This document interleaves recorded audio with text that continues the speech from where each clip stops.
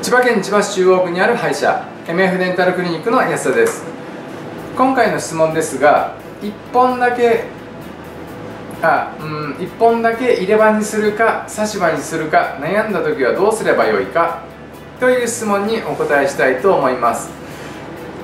他のところでもとお話ししたしましたが入れ歯と差し歯というのは違うものです。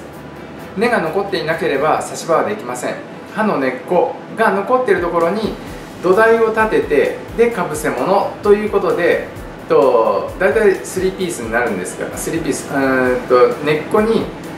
上物を作っていくってということで作っていきますがその全く根がないところに差し歯は作れません。なのでその場合は入れ歯になります。またと保険で日本ではとても多いのですがブリッジがとても主流になっておりますがブリッジにするためには内歯の両隣の歯を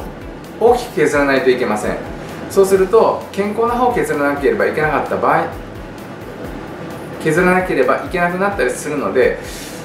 また強い力も加わってしまうのでできればブリッジは控えてほしいなとは思いますがまた違う質あその内容ですので